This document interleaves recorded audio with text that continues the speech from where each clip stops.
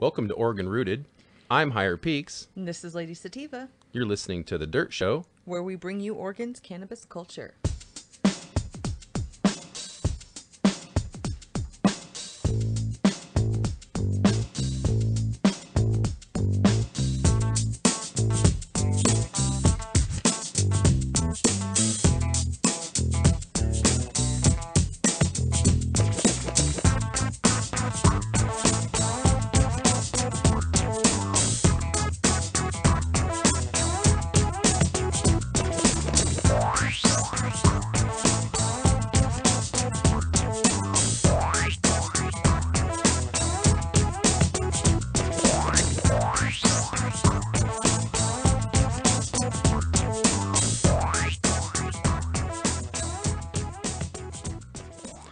Right, welcome to The Dirt Show, episode 15.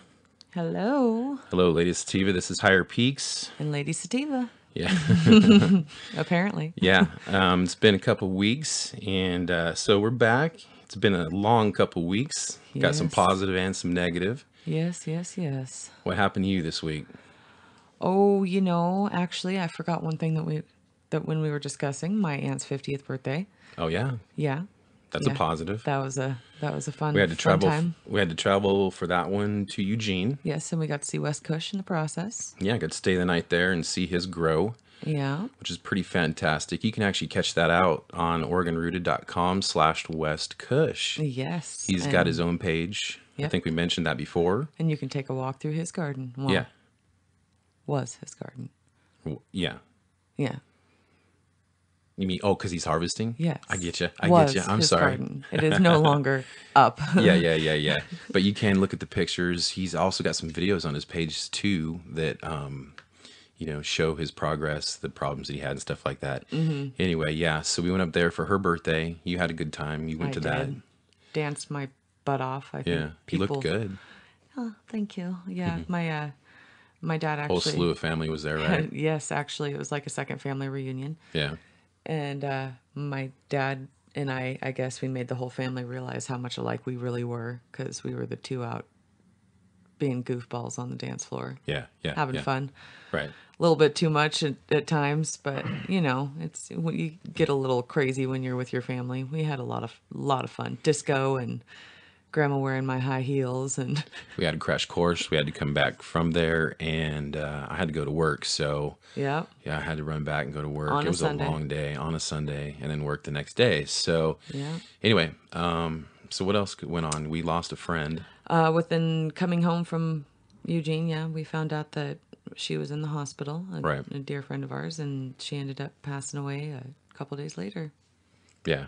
Now that was um, Stage four cancer. yeah, and did now explain? Did she have any CBD treatments or anything like that? That She did. She was on a RSO, and uh, she had a private person around here that, of course, as everybody knows in the cannabis community, when it comes to cancer, they're very, very giving. Very, um, they don't care if you have money.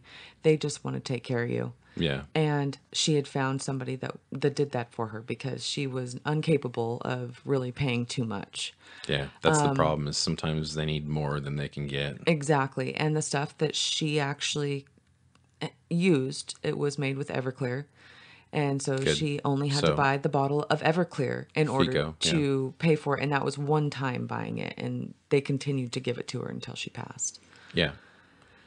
But yeah, it was the hardest thing I've had to go through in a really Yeah, long so time. that took up a lot of time, just those two things, and then you know, uh, we uh, also have started to harvest, so Mm-hmm. that's a process. But we'll talk about our grow up until now. We haven't really talked too much about it, but I wanted to kind of summarize what we did this summer. You know, it won't take but Mm-hmm. a minute, but yeah, what else? What was something else that happened? Oh, my mom moved away. Right, so we had to help her move, Yep, North Carolina. but we inherited some good furniture. We did. yeah, I'm I'm still mad at her for moving, but you know, she as she says, I'm 55 years old. I got the right to move. I'm like, okay, mom, well, she does. you're right. I am I am old enough that I should not need my mom, but I just don't like the thought of her living that far away. Yeah, You know, yeah, she's lived here my whole life too. sure, sure. Call me greedy. Yeah, and also too, we've been working. I've got. We're gonna have two shows, so we're gonna release this one, which is gonna feature Jason Osborne, who is in the Mail Tribune, and uh, we can talk about, you know, we can talk about that briefly. But you know, basically, he, he is our special guest. Yep. Um, we had a really cool, uh, I guess, interview. It, was, it was wasn't really an awesome. interview. It was more like dinner and. It was and, a uh, total laid back time. It, It was. was, it was great. So we'll warn you right now. Um, it was a full good interview, and he had a lot of good information about what's going on locally here. Actually, it's real local. We're talking like Rogue Valley, Medford area. But he, um, you know, we actually sat in front of a fire. We said, "Forget it. We're gonna." Oh, I sit- sat in front of the fire. Oh yeah, no, we he had a big, nice, really beautiful freezing. table, you know, and there's a big rock pit there, barbecue pit, both, and it was just it was a a, a very uh, relaxed situation. So yeah, Yes. we'll warn you right now. Guitar. There's no yeah, there's no there's no professional studio in this one. There's no we did have our equipment, but you know the background. We were literally in the middle of his garden too. So it was it was I mean, awesome. okay, and it by the way, yes, garden, but we were not surrounded by just cannabis. No, Just no, to no, no. throw that out there. Yeah. We were surrounded Yeah. by corn. We were surrounded by squash and and and yeah. pumpkins and But the point it being was is awesome. The point being is that we, you know, were uh, out in the garden and with his marijuana plants, Yes. right in the middle of it. So that's where we're actually doing the interview, and we just said, "Forget it, we'll do it this way," and it's really casual. it was so it was pretty pre-warning, awesome. pretty pre-warning though, it is not a professional situation. Uh, there is some some background music at some point. Uh, you know, there was some. You know, it was Guitar playing. well, that's what I mean. Yeah. Um, and there was a couple other people in the background. So, but I think it was pretty good. And like I said, so, you could hear the crackling of the fire. Yeah, It was fun. it I- was. It was a great time. It was, and it was a good. T- it was a, a really good um, experiment on doing that kind of a style interview because it's Mm-hmm. Right. it's great. You know, a lot of I I think breaking out of the norm and trying something new is cool. Right. And Yeah. remember, they did invite us over for Halloween. Oh yeah, well we're gonna the shout out to roast. Jason because I'll be in. I, we're we're in touch daily anyways. Yeah. So Pig roast, by the way. Yeah, so we'll get to that. that we kind of went off on a track on that one, but we're going to talk about news real quick too, and we're going to get the grow in because at the end, this is a long interview. It's about 55, 56 minutes, okay? Mm-hmm. So the summary at the end is not going to be long. We're just going to summarize what's going on now. Yes. Because this happened, you you know, a week or two ago. And so we do have some results to this particular interview. Right. And so And stuff's still happening too. and stuff's still happening. We'll keep people updated, but um, this gives also the world kind of an understanding of what's happening in a local city situation uh, with these types of things. And we'll call this civil disobedience. Right. Okay, this is a really good thing for a lot of reasons. You're not breaking the law. It's almost like you're standing up against it. But you're standing up against it. And, Standing up for your rights. Let me get that. Not standing up against it. Standing up for your rights. Yeah. Because no law is really being broken here, is how we, of course, see it. No, But to just- the law, So we're and- breaking theirs. And yeah, I don't want to see I'm sidetracked. We should, I got so much to say about it. So anyway, news our grow before we get into everything, so we can summarize at the end for him. And uh, yeah, uh, and so let's get into the supporters real quick. We got to give a shout outs first. Um, first, we're our biggest supporter, and we never shout out to ourselves. Okay. yep. So, oregonrooted at gmail.com. That is our email. That's where you can send us anything you want. We appreciate the feedback. I do have people sending me emails, and it's all Thank you. been yeah, it's been great. The people that have sent me emails, um, and I get right back to you. Not right back to you, but I do get back to you. Um, you know, the people that uh, have sent me some really good information I've actually contacted. So again, we do appreciate it and and it's great. So oregonrooted at gmail.com. Also our website, which is developing slowly, as you know, but it is developing. Um, You can see a lot of new things on there now. We've got the West Kush page. Um, I've also got ancient herbs on there, uh, which is we're supporting. We'll talk more about. Uh, but also I've I've changed kind of the look of the top of it too. It's really good, you know. Just check it out. Um, we'd appreciate if you Right now, there's not a big reason to become a member, but there will be in the future. Right. So if you want to become a member, that'd be awesome. But you don't have to yet. I mean, you know, once you know, once we get a little bit bigger, it'll be worth it. So I understand that that's not happening, but um, Yet. Yeah, no, we're gonna just we, we're adding more stuff. It's just been a slow process. So anyway, right now, right now, the the biggest supporter we got, and and we support them as well as Vaporous. Get Vaporous. You can get to them at Instagram or even the website, getvaporous.com or vaporous-technologies.com. In fact, we've got their pen right now. Mm-hmm. Where's that package? Was that, did you, you left it over there? Oh, you don't have to get it. Uh, it was herbal. I can't remember the name of the concentrate company. Good God, man. It's okay. You don't. It's it's. You don't worry. It's but it was. there. It was. Yeah, I know. There's a buffalo on the front of it. But I the think. pen is filled. It's lemon tangy, and it tastes so good. Is it the lemon tangy? It's a lemon tangy, and it not lemon tangy. Is it lemon tangy? Yeah, it's a lemon tangy. Mm-hmm. Yeah. See, see how good it is. So anyway, it's full in this pen, and that's one thing about the the Vaporous pens. They taste good, don't they? yes, they do. Okay, and now my pen is beat up because I carry. You need to everywhere. clean it though. It is a little bit hard to suck through. I use it all the time. I love this thing. Yeah. So, I uh, but, but I, I I love it, and it still tastes good. And the Mm. coil's still working. How long have I had this thing? Two months now, and the coil works like a champ. It doesn't get all crusty. That's the other thing. It doesn't Uh. get crusty. no, but the hole does get clogged. Yeah, that's true. Anyway, I have the J Pen Pro. It's got the uh, the adjustable airflow, which I like because it's not only adjustable, but it's got this like vortex something going on in there where Right. it gives you a dang good hit. And uh, you, also, you can close it up with that adjustable airflow, and if it's in your pocket, it won't leak. Which it's always in my pocket, and it never and it never leaks. it just gets dirty. oh, which is the reason why mine couldn't go in my pocket. Yes, it doesn't. Yeah, It leaks. Right. It can leak. Well, so I you're know. using- I've never tilted it. you, you're using the J Pen, the regular J Pen, Mm-hmm. Yep. and it, it hits like a champ as well. it hits it, basically the same, it really I does. have the it really airflow. does. Um, but you just can't close it off like that. Yeah. Mm-hmm. But uh, still, that's still works the same way. It still has the same size chamber, and you're still using it. Still going I'll tell you what, it's a lot easier to a lot easier to load than the mini. Yeah, yeah, it is. It is. But the mini is meant for The mini has retired to my drawer for now. Mm-hmm. Yeah, well, you're kind of a concentrate I know. crazy person, so. I'm kind of a concentrate snob. anyway, it's for discreet use. And a lot of people like that. And some people don't do it all day. They don't. Yeah. Oh, And here's the big thing. So check them out, vaporoustechnologies.com.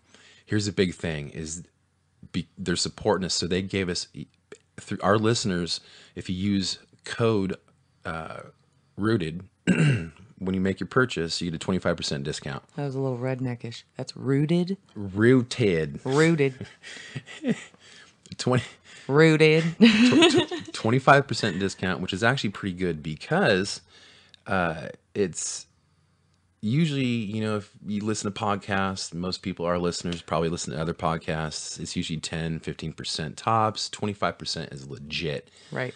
So we appreciate that. Shout out to Christian and Kamo, or yeah, Kamo on that. Um, both those guys, those guys are the, the big guys, and they're doing making moves with this stuff. These guys are smart. You know, I'm have an engineering background, uh, and I saw the schematics when we saw them at Indo Expo, and they're good products. They, and they're really solid. They're heavy. The battery lasts if you give it a full charge. I never get a full charge, but if you give it a full charge, it lasts quite a while. Um, and it's sturdy because I've dropped it, beat it up, and kept in my pocket, going everywhere. You've even dropped mine. The one thing I will tell you is make sure you turn it off before you tur- when you put it in your pocket, because it will at some point get bumped, and you'd be like, "What's what's that? Someone's." And then you feel your pocket and you feel the heat. You're like, oh, my pocket is smoking. So, and that's not good if you're in areas that you shouldn't be having that stuff in. Right. So remember, go to their website. you can even use getvaporous.com and you go straight there. 25% with the code word rooted. Yep. Got it. Okay. So let's move on. And by the way, that's what we're smoking out of. That's what I smoke out of every day. And that's what we're smoking here on the show. Mm-hmm. And you're not getting the first hit. No. All right. So um, next is Shawn Leach. Can't forget Shawn Leach, Ancient Herbs. That's the other big supporter. Now we're working really closely with him because there's another product coming out that's going to be really, I think, revolutionary, especially for uh, PM. Uh, uh, for for plants. And everybody knows PM once you get it it's hard to get rid of. Right now he's got a formula one which we're is on our website. You can click on that.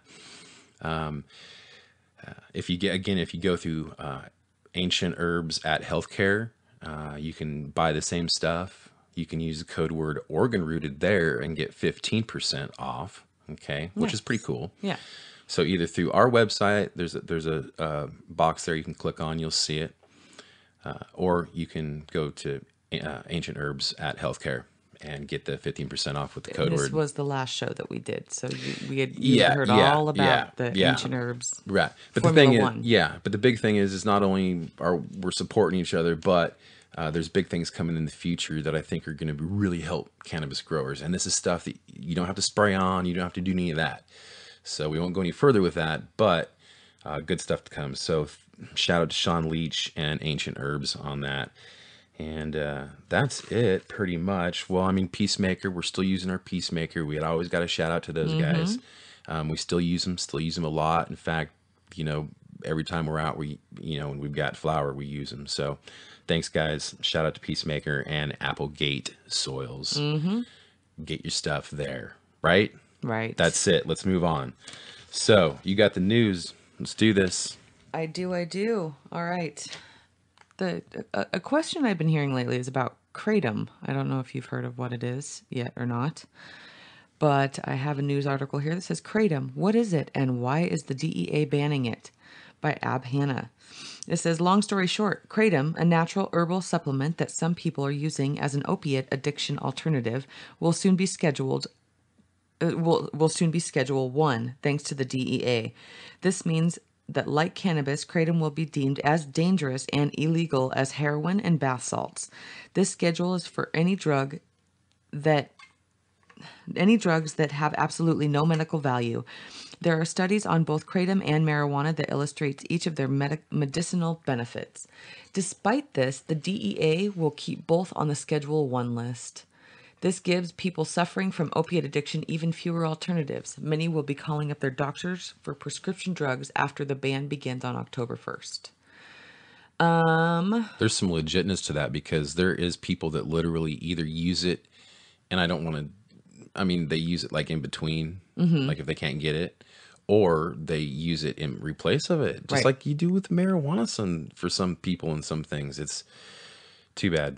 Right. Here we go. Uh, it says the DEA also claimed that that there have been numerous deaths associated with kratom. The DEA is only aware of 15 related deaths in the last two years. However, they neglect to mention that the fact that none of those deaths have kratom as the sole contributor. Most of the opiate alternative related deaths are people who tested positive for numerous substances or pre existing medical conditions. Despite the low risk, the DEA has chosen to ban instead of regulating kratom. Prohibition has res- resulted in failure in the past. The DEA feels no need to switch up strategies. Um, in, t- in 2014 alone, the National Institute on Drug Abuse reported over 25,000 fatal overdoses in the U.S. from prescription drugs. There have been nearly 88,000 reports of alcohol related deaths. Um, kratom apparently it says it it has been found to relieve pain. Studies have shown that cannabis relieves chronic pain. The main ingredient is Mitrogenia specosia binds to opioid opioid receptors to relieve pain. Did you read that right? I don't who knows. um basically they're just changing it to schedule 1. Yeah. So the way it makes it sound though is that there's more deaths when it comes to kratom.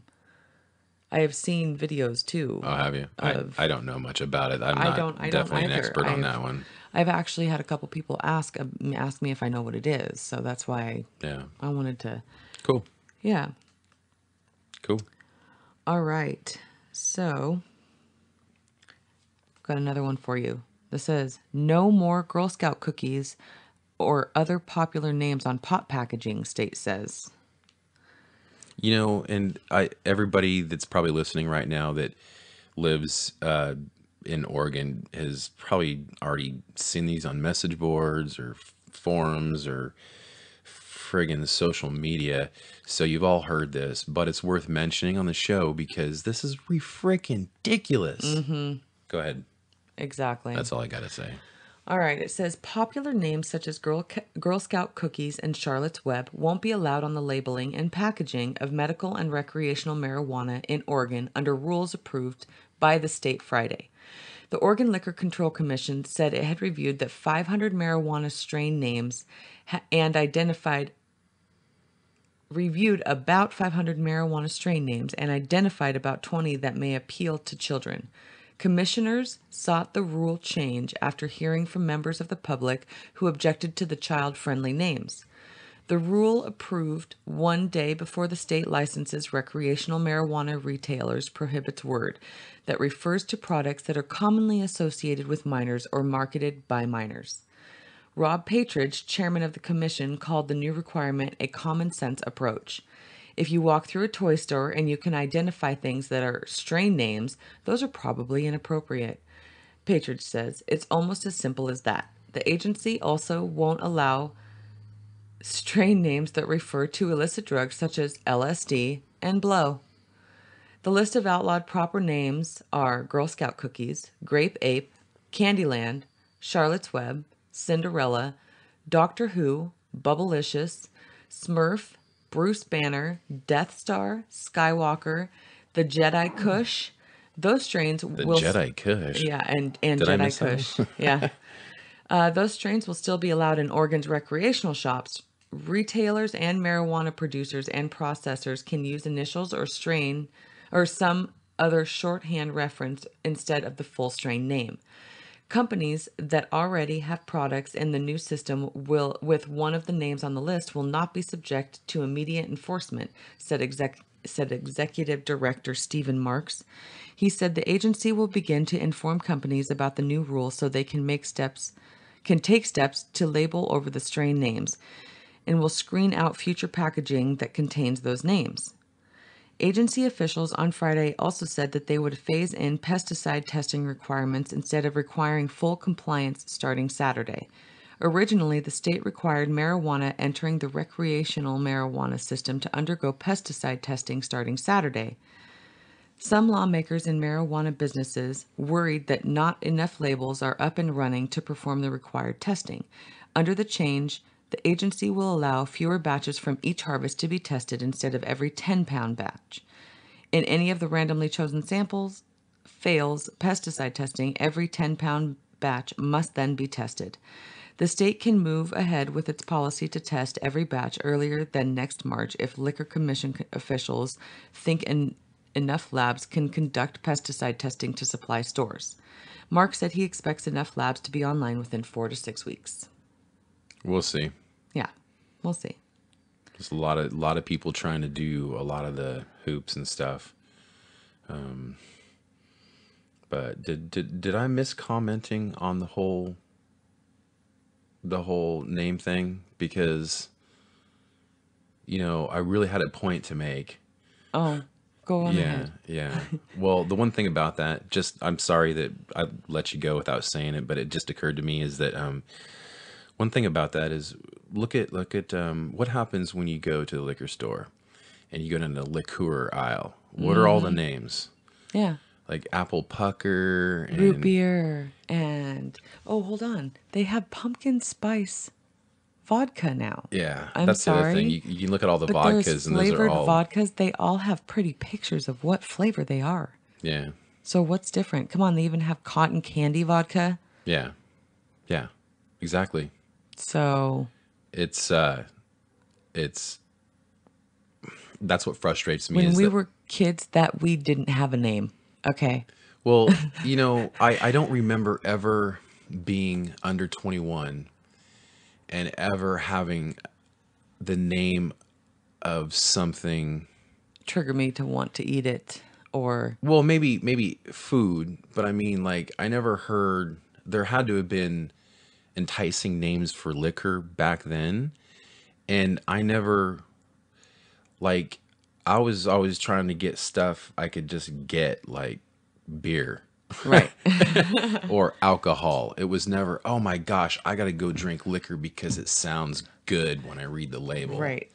Anyway, but I'm sorry I got sidetracked. I just had to say that because every time we always get in this hypocrisy with alcohol. It, it's it's okay, like even with the gun thing, it's okay to have a gun and be drunk, literally. You could probably be drunk if you could hide it and go buy a, a gun. Mm-hmm. But it's okay to have a beer and have a gun and shoot. But you damn well better not be a medical card holder because Right. you're psycho with it. Right. So Go ahead and read your I'll get off. article. I'll get off my soapbox. I'm sorry. That always frustrates me when they're the the, hop, the hop, uh, hypocrisy. yeah. Go Okay. ahead and read yours and then I'll read my last one. Here's I'll make this quick. Here's here's a crazy one for local uh, things. This is in Josephine County, and this is from uh, NBC website, uh, NBC uh, KOBI5.com, actually, uh, a local affiliate for NBC, and it's crazy. This is how it's probably going to get anywhere legalization happens and people start actually being able to produce a lot of weed. And here's the title Police Impersonators Visit Pot Grow. Holy hell. Man, cannabis harvest season is in full swing, but for some growers, that means trouble. The Josephine County Sheriff's Office took a call Thursday from a grower in the Murphy area who says four people posing as police came to his property to see his marijuana. A Murphy resident who prefers not to be named says he is paranoid and concerned. He says groups of people keep terrorizing his property trying to get a hold of his medical marijuana. But yesterday, one group took it to the next level. One Murphy resident who doesn't want to be identified experiences chronic pain after having about six surgeries. His answer I got into medical marijuana and I feel better and healthier, he said, of course. But for about four years, several people have tried to steal his plants. He purchased security cameras and uses his dogs to scare strangers away. But yesterday, a group of men did more than hop a fence. Two guys got out telling me that. okay, I gotta stop. This is a quote, okay? Now, I, I did say it was Murphy, right? Murphy, Oregon. Mm-hmm. Okay, let me read the quote. Do, do you want me to give me the accent, or would that be too assumptive? Maybe I not better do that. That'd be too mean. Two guys got out telling me that they was police officers I think that is enough right there. They was police officers. and asked me if I had my medical marijuana card. He said, after pointing out his card, he told him he had ten plants, which is the legal count. And they asked me if they could see my plants, and I told them no. Uh, he said, which again is, is legal and what you want to do. They have to have a search warrant. Just even if you're legal, just tell them to go. That's when two more men, especially in this situation, that's when two more men got out of the car and said, We could do this the hard way. When they didn't present any ID, he called the police. Go, dude. See? Right? We have rights too if we're legal. Though the men left quickly, they told him they'd be back, but with a search warrant. Knowing that won't happen, he had a message for the impersonators. Another good quote you like. Don't go around and rob people's medication, you know? I mean, people need this stuff, he said. He hopes his fellow growers will be more aware after hearing his story so the impersonators don't succeed. Josephine County Sheriff Dave Daniel told us via text today that right now they're not investigating. There you go. It's re- that's it's scary. And I mean, what's next? So first we're scared to get arrested, and now we're scared to, um, I guess, get shot Right. or uh, I mean, I guess what they would have done if they got in the house? They wouldn't have just said. I mean, would they have said, "Oh, we're confiscating your plants"? He would have been like, "No, I'm legal," Right. or would they have been like, "All right, sit down and tie him up," or what? I mean, it's Yeah. scary. it is. Go ahead. All right. My last one is border officials find van with air cannon used to shoot marijuana over US Mexico border. Long story short, drug sniffing canines and trained officers make smuggling marijuana across the border a difficult task. As a result, as a result, drug trafficker oh my gosh, I'm sorry. A traffical. Traffical. Okay. As a result, drug traffickers have gotten creative. A van with an onboard 10 foot air cannon was found parked in Uguay Pri- Prieta, Mexico. Sorry, I may have said that wrong. It may have been Agua, but I'm not positive. Um, I don't know Spanish names. Uh, the town is along the border of uh, border with Douglas, Arizona. The cannon details. It says the van was reported stolen this summer in the city of Hermosillo, Hermosillo, Cio, Herm, Irma, whatever, Spanish. The roof of the cannon had a hole. Don't cut- you have Spanish in you? I, nobody asked you. Cut out for the long reaching cannon. The 10 foot air cannon can send up to 60 pounds of weed flying over the border. Authorities found an air compressor in the van as well. This helped launch packages well over the fence as retrievers wouldn't need to get too close to the actual border.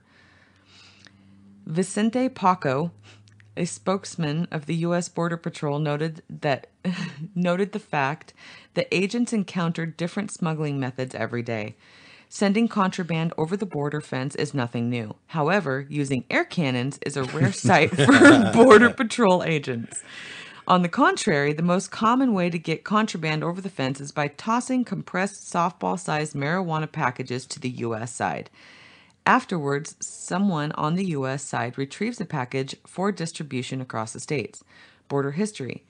Medieval style trebuchet, trebuchets have been used to smuggle drugs in the past as well. Moreover, the Border Patrol has found several catapult type drug launchers over the years. Drug launchers. That is so awesome. Uh, they are usually made of wood, but the latest one was all metal. In 2011, officials found a drug catapult near Naco, Arizona. The catapult was attached to a trailer that was abandoned in the Mexico side of the border. That being said, cannons are only found once every few years, said Paco, spokesman of the U.S. Border Patrol. Ultralight aircraft smuggling. Smugglers have begun to use small aircrafts to get large packages of marijuana over the border safely. The planes are described as gliders with engines which have which have a seat for a single pilot. In 2014, one of the planes was found crash landed in the Laguna Mountains. Furthermore, authorities found 250 pounds of marijuana, but no pilot. These aircraft never land on the U.S. side of the border unless they crash. The pilots must be stealthy when flying. The pilots fly at night to avoid detection and carry hundreds of pounds of drugs in a basket type contra- uh, contraption beneath the aircraft. A lever allows the pilot to release the drugs from the air at a designated drop zone. The plane rarely touches the ground. Essentially, it's a lawnmower with wings, said Garcia, the San Diego's Homeland Security Investigator uh, Investigation Branch. They just come in, drop, and go right back, he added. Just can't get the picture out of my head. Final hit. Finally, from small aircraft catapults, smugglers are finding new ways to traffic drugs every day. Marijuana becoming federally legal would free up a lot of the Border Patrol's time. With legal, regulated, and quality marijuana on this side of the border, smugglers would be left with slim to no incentive. Then the Border Patrol will only have to deal with smuggling of hard, harder drugs with illegal immigration. That, excuse me, that is uh, really funny. It's all the pictures in my head on that one. Mm-hmm. All right, well, so we'll keep moving because we are so far behind, uh, and I don't want to make this too long. Um, so let's just finish up this season. Everybody should be uh, harvest either harvested or harvesting or about to harvest, and it's it's you know we're kind of starting to harvest and you know this time of year it's there's a lot of things you got to be careful of one uh, right now you got to worry about rippers. And a lot of people you see a lot of uh, a lot of stories a lot of people talking about rippers that uh, come through and take your stuff even if it's just a branch or two. So be careful. I know a lot of people set up tents. I know a lot of people do things to prevent that. But uh, just just make sure you're doing everything you can. There's easy ways to um, uh, be able to uh, protect your plants. Uh, one of them is as simple and cheap is to put out, you know, like the infrared sensors that will ding a bell. Um, those are so cheap and you can just put those out in two or three or four or five of them, and hard to see at night, and will will ding you and, and wake you up. Uh, but even if you're not, I mean, a lot of people though have already harvested. So if, if you're about uh, to harvest or whatever, just make sure you're you're protecting your stuff. Um, but if you have harvested or you are harvesting, um, uh, just a couple tips. You know, get your stuff hung up. Make sure your humidity is correct. You want to make sure. Uh, I don't know. There's a couple ways people like to do it. Uh, what what I do usually is to take off the big fan leaves, and then um, I actually go down. A lot of times, some of my plants don't even have the big fan leaves at the very end. So, but I will take the leaves off that were, are easy to snip at. You take your little nippers and you can just snip right down uh, at the leaf and without even having to try it. So you see that little little branch for that leaf sticking out and you can just get them. I get all those.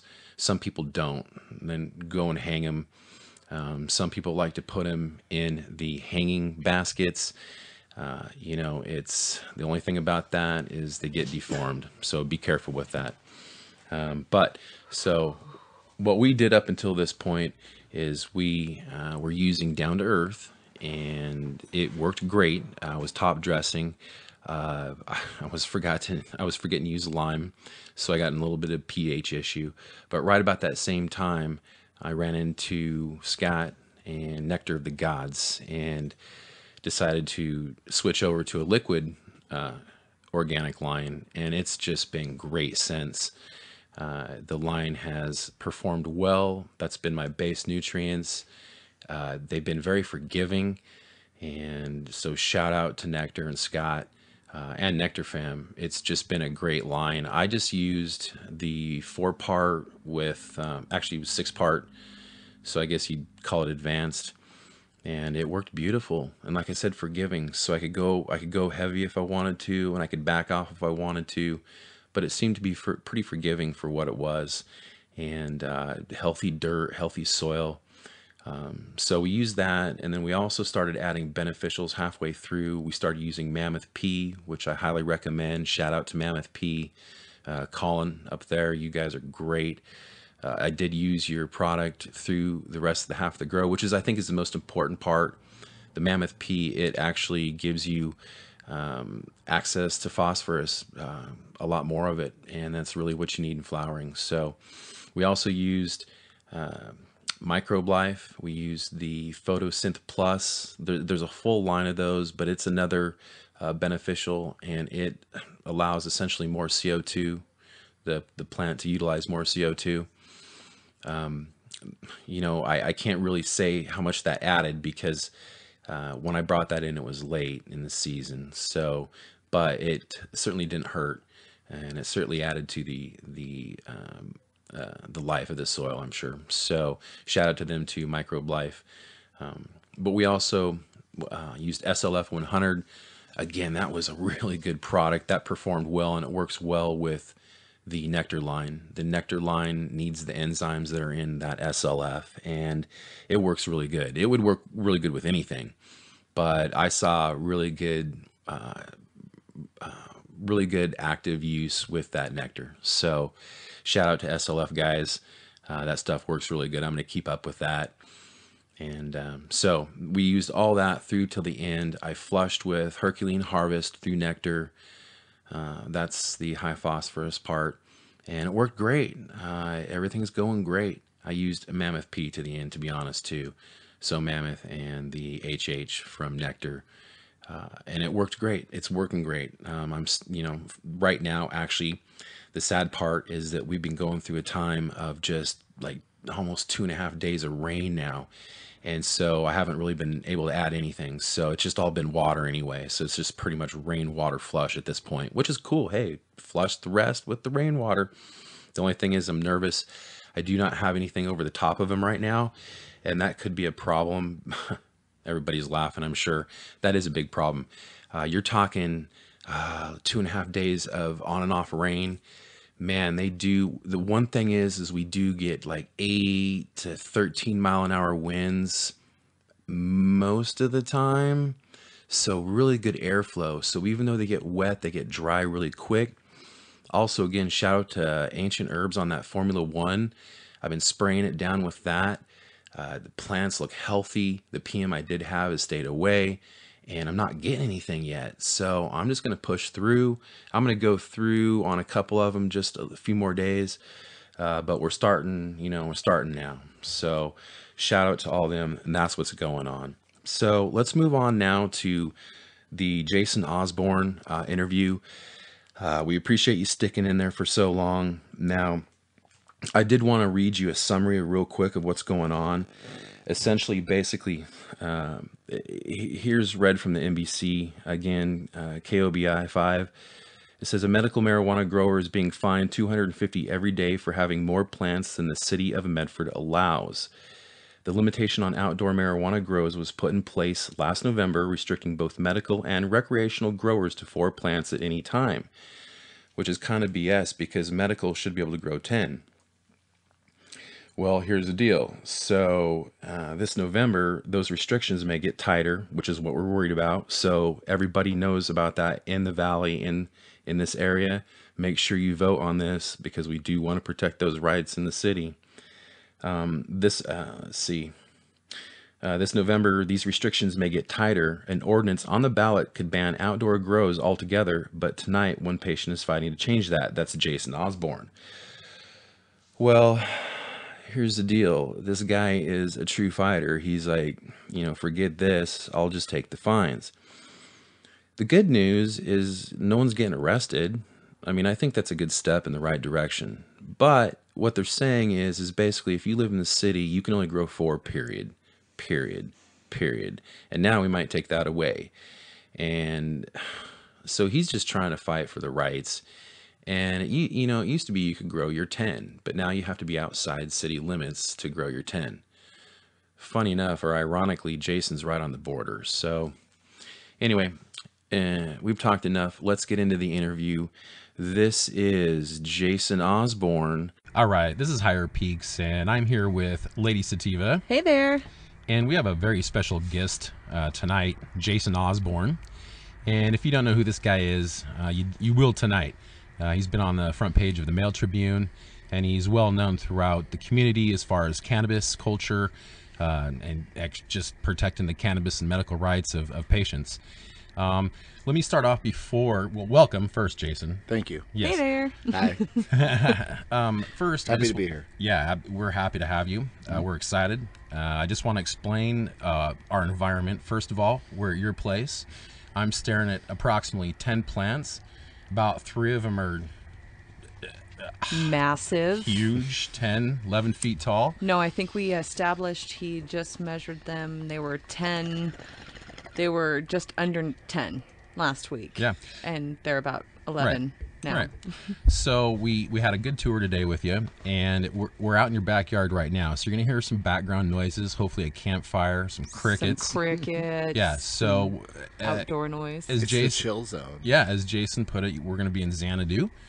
So uh, this will be it. So it's a little bit different. It's more relaxed, and we're also going to be uh, smoking some cannabis. Absolutely, some, and we're going to be staring at some cannabis too. Our own medicine that we grew. We're very proud of. Oh, it. and hey, not just cannabis. We also have corn, uh-huh. and we have strawberries. Yes, we do. And we have what's squash, right?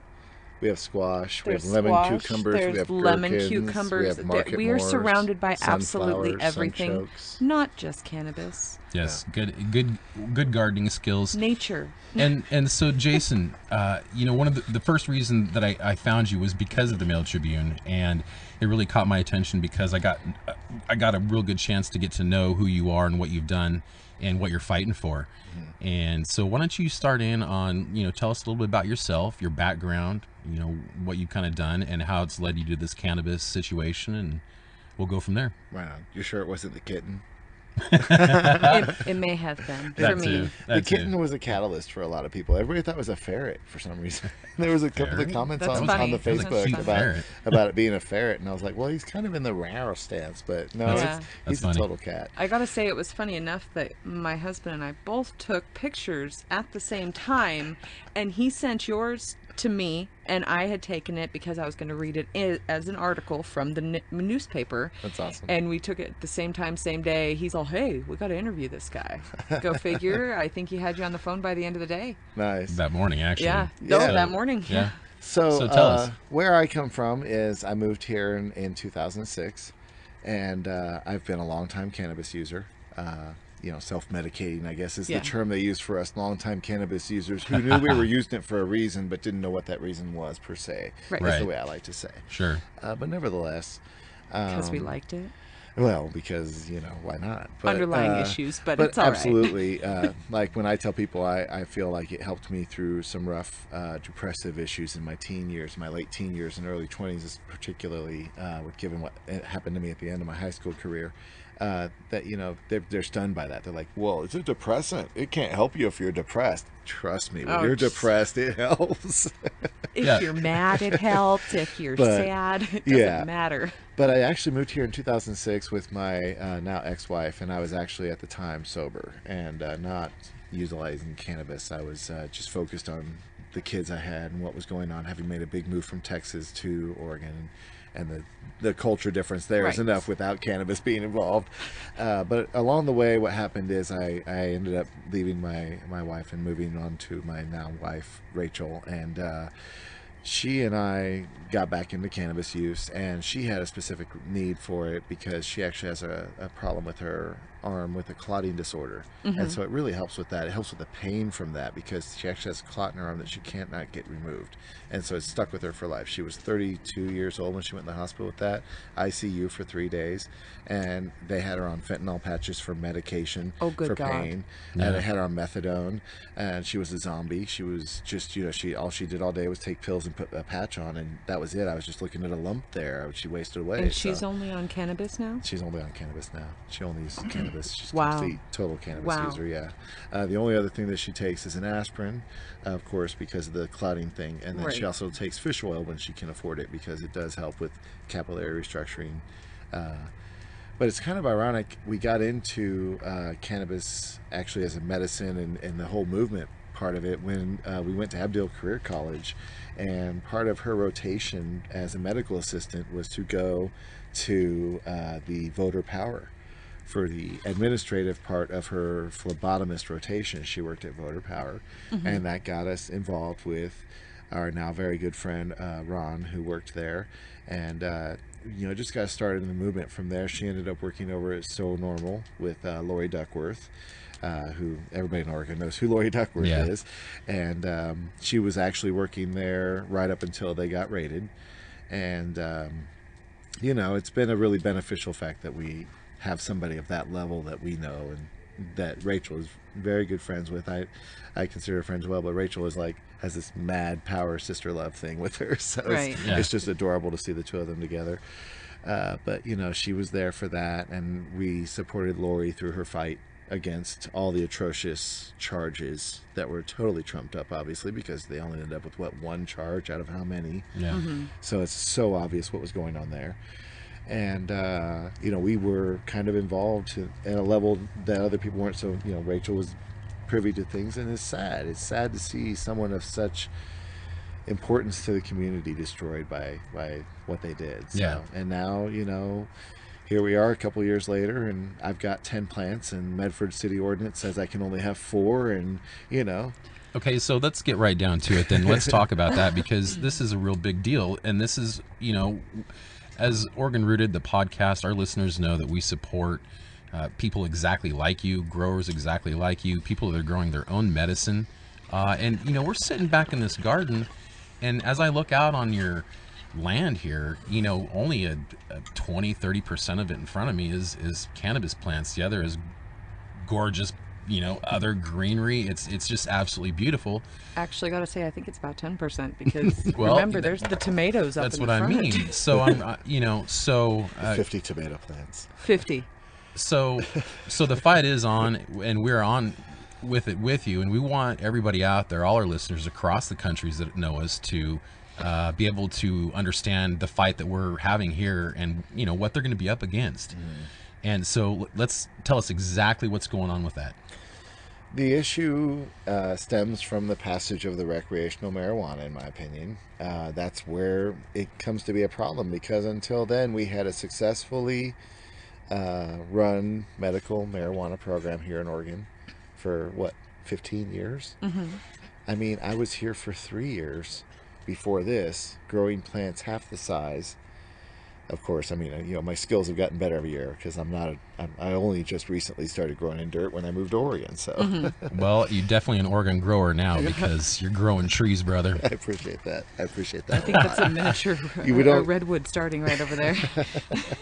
yeah, the stalks on those things. Just so our listeners know, uh, these things, I yeah, I think they're the size of my ankle. Well, it, it's it's gone beyond to the point where it's just pretty much solid wood, oak. You know, uh, very and very healthy. I was surprised that um, at the at least what you've expressed that you do mm-hmm. is simple. Not simple, I shouldn't say that, but it's it's minimal for what some people do. It is pretty simple. You know, it's actually a, an issue of contention I had with uh, some other members of the community because when I protested the proposed ban uh, with the city council, and I was there talking to the city council, and I make the point that I'm not the guy who invests tens of thousands of dollars in my plants. Yeah. Mm-hmm. I'm the guy who literally some of these plants are seeds that I found in stuff I got that I just wow. stuck in dirt and grew. Those yeah. two plants right there. Yeah. You know, wow. and it's like and they're gorgeous. I mean, yeah, they are. Wait, the ones with the massive leaves that are like the size of my head? Yes. Really? Jurassic Park style. Those are just from Those are seeds. massive. Oh, and by the way, it's nine nine uh, what are those cola? What are those? Nine fingers. Fingers. Fingers. There There's nine fingers on that thing too.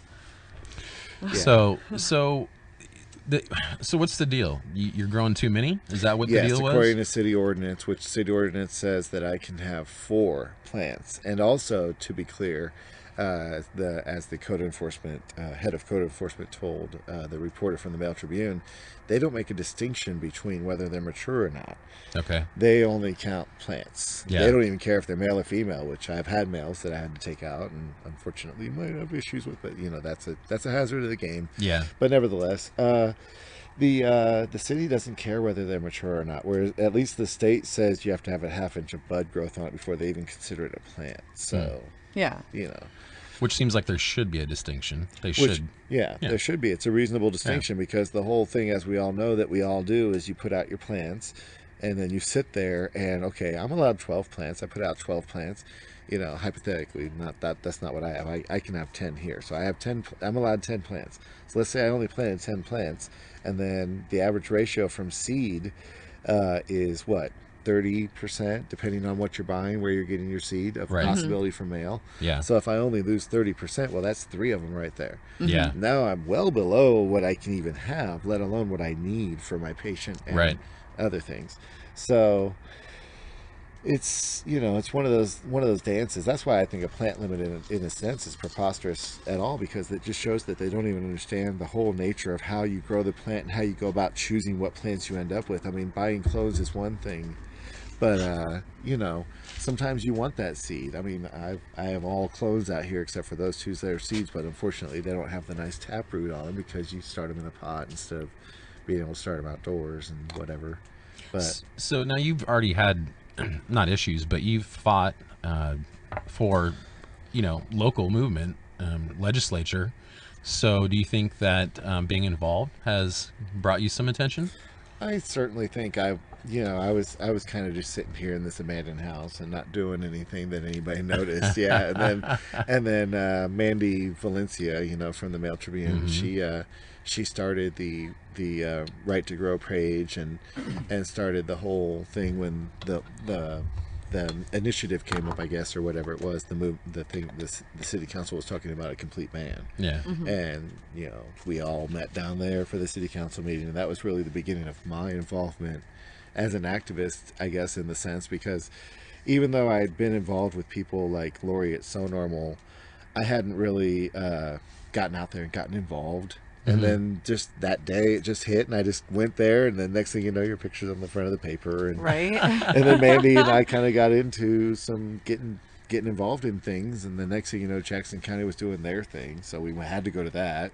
Yeah. And then we went yeah. up to Salem, and uh, and went up there for the House Bill 3400, mm-hmm. and uh, got up there and testified in front of them, which which was interesting. I've never done anything like that yeah. before. You know, yeah.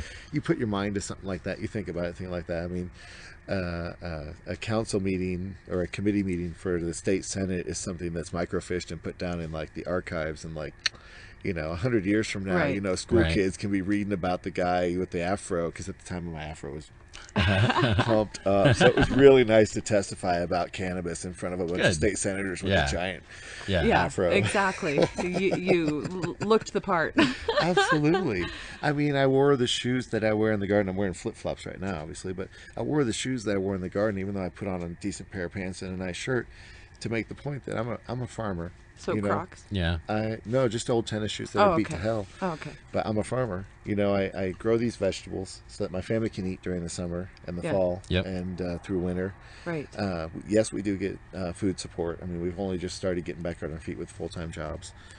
Uh, but essentially, I farm as much food as I can to feed my family, and I farm a little bit of cannabis. Right. So which, you have medicine. Which is ironic because my issue is I have degenerative joint disorder in my knees, and so I'm looking at knee replacement probably by the time I'm you know about in my mid 50s. Mm-hmm. And uh, the issue with that is that I wake up some mornings and my knees are so stiff that I can't bend them, so I have to literally drop my leg off the end of the bed and just let my leg fall down, and it just cracks like a piece of wood snapping. Yeah. Uh, and so, if you don't think I need a bong rip after that, right? listen, we'll go toe to toe. If you yeah. want to take my bong away yeah. after I have yeah. to break my legs basically and have to get out of bed, and this is this happens when these cooler temperatures come in the fall and the winter. Yeah. Uh-huh. Yeah. So of course it makes sense that harvest comes in the fall. Right. Duh. Yeah. I get a buttload of medicine in the fall. Mm-hmm. Duh. I use that medicine to get me through the winter. So sure. come springtime, I can walk again and come out here and plant the plants. Right. And get my medicine in the fall. It's like the and, circle of life and they don't get that. Why don't they get that? Well, what's what's interesting is that you're growing your own medicine. You're not trying to take from anything. Right. You know, you're you're growing the medicine that you really need. I'm fully don't you see what the problem? Hold on, don't you see what the problem is? He's not spending any money. Well, and it's working. And they don't like it. Yeah, it's it's working because you're not He's risking farming. You're not risking like your you know the fentanyl patches or anything like that. You're not risking you know. Uh, I have a heart dying. murmur, so I cannot use. I do not like using uh, narcotics at all.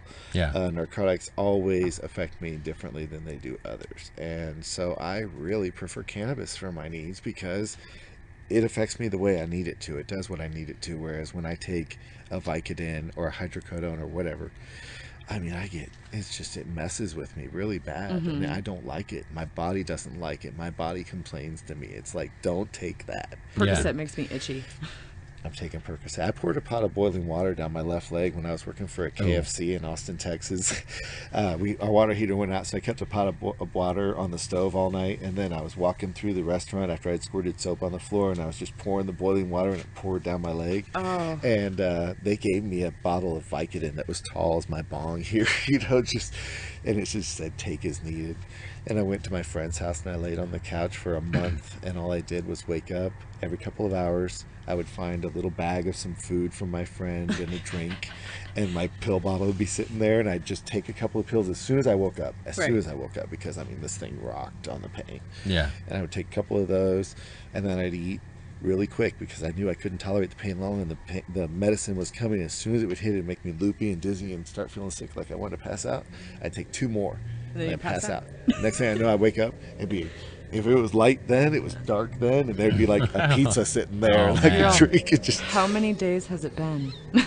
I, the month of February, and that was like, I want to say 2003 or whatever, but yeah, the month of February was just gone to nothing but pain pills. And I mean, I couldn't have had cannabis in Austin, Texas if I wanted it. Oh, I don't know if you'd want it now. There's so, still a bad place to have it. Actually, I think that yeah, we were we were one of the worst states about that. Mm-hmm. I think we were asking that in one of our episodes is how Although we do have a few Texas listeners, though. Oh, yeah, it was hideous. I mean, the stuff that I survived on for the 16 years I lived in Texas, we call it the brown frown. Uh, it comes from typically from Mexico. uh, all the stuff that I ever got, because I. Because I would get uh, quarter pounds of it, you yeah. know, and take oh, care so of all my friends. Fresh and everything. out of the tire. Oh, I knew a guy who he said he had a place down there in Mexico, and he would get it, and it was like pumped together with two jacks into a brick, and they would shove orange peels in the middle of it before they made it into this brick, so it would stay somewhat moist. Right. And then they shove it in like tires on, on yeah. the trucks, and then drive it up, and uh, you know. And I'm sure it had no pesticides oh, oh, or any kind of diazinon or. it was just disgusting. I remember that was the first. Oh my god. First weed that I ever mm. smoked was Brit- Mexican brickweed. Yeah. Just, I still worry, I still worry about the repercussions because I understand oh. that cannabis is safe, but I'm not sure what was in that cannabis was. Oh my goodness! So you that's, tire parts. That's why you know yeah. it's it's nice Grease. that we have testing now and everything, but when it comes to testing, at times and I adore it and I, I need it, you know, and I want it in my life and all that. Nowadays, I want clean medicine as everybody does, but I think back to the things I smoked back in the day, and it's just like who knows? Yeah, right, yeah, right. Who knows? But you had no choice because, of course, clean medicine wasn't available because yeah. of prohibition. Yeah, it's just yeah. like people who had to drink bad alcohol. Oh, when prohibition right, exactly. was on yes. alcohol. People yes. went blind because they drank awful moonshine oh. because they couldn't go get a Jack Daniels. You know, mm-hmm. I don't. I mean, that's that's the prohibition at work. I think it actually had a name for bad, like for bad liquor, mm-hmm. and people would get. Um, sure they would start having limb problems and then they would end up just dying like their whole body mm. would just freeze up on them in fact um, i don't know if you've ever seen the movie uh, water for elephants. Um, well in water for elephants that was an issue. I don't remember if it's johnny's leg or something like that. I'll have to look it up. But it, it actually is a symptom where alcohol poisoning and it would kill the yeah sure. it was it was crazy so, talk about clean medicine, Jason. Uh, why don't you talk about how clean yours is? I know that what you told me it sounded pretty good. I mean, it's pretty much nature's way. I mean, we're real we're real proud of it. I mean, we try to do it as basic as possible, and it's it's a it's not totally uneconomic the choice that I made. If I had money, of course, I would have gone out and spent money, but I'm not that guy. I don't have that money, so Look, what man, we have for somebody is... to grow these big of trees without being that humble. you know, it's eh, it, what's there know. to brag about? You know, I mean, I'm just proud of it, but I mean, at the same time, it's it's what nature provides. Yeah. You know? So, what is your process? What so, do you do? Sorry, the, Jake's leg. That's what it's called. Oh, Jake's leg. Okay. Yes, it actually. That's what it's. Is that a listener? No. No, no. I, magic phone it. I googled it. We called it ma- we call that magic phoning it. Oh, I magic no. phoned it, and it told me that it's Jake's leg. Gotcha. Yeah. That's my so. Buster barking in the background. That's awesome. I love that. Yeah, and there's gonna be some natural noises going on. Yeah. This is Oregon. I Oregon. think we and, heard an ambulance. You know? and if I may, natural smells may occur as well because across the street, my neighbor has uh, miniature ponies that she has been fighting and continuing to keep on site for since before I was here, and the city has tried to make her get rid of them at times, and she's fought them and won. And it's nice to have a neighbor across the street who stood up to yeah. the city before yeah. and succeeded. Okay, and I gotta, I gotta. but you might get the natural smell from them if they uh, do their well, thing. Well, so is that a, is that I was gonna say before you say anything? Uh, sorry, no. but um, is that a smell thing? Is is that smell ordinance, which can relate to the cannabis? I know how that's the city is. Oh, coming funny. about that uh, as no, far actually, the... the animal smells are specifically state protected. Oh, yeah, things like that are specifically state so cattle, horses. Yeah, so naturally, anything naturally like growing that. plants no, oh, are anything like that, like the lavender farms are state protected. Even though the... lavender can stink to high heaven. Oh god, yes. rosemary. Oh. can be pretty potent. Okay, yeah. there was a bundle this big at the Indo Expo, and it smelled so strongly, and that was just walking by it, and I'm like, okay, and that was lavender. It yeah. was just sitting there. I'm like, mm. wow, that is strong. Mm-hmm. Um, okay. There's the motorcycle. this is great. I love the. I was gonna. Sound. I was gonna point I mean, out. This is all natural. Audio junkie when it comes to that kind of stuff. I had a friend who was in a band in the '90s, and I'm like, "What kind of music do you make?" And he's like, "We don't make music." And then he played some of the stuff, and it was like, as if the keyboards had like a, a, a motorcycle sound and then a tinkling oh. of nice. silver stuff, and they played these crazy jingly things, and I'm like that is so off the hook. But it uh-huh. was Austin in the '90s. You oh, know, it's yeah. live music capital of the world. Yeah. So everybody's a musician. right, know? right. You walk two feet, you run into a musician.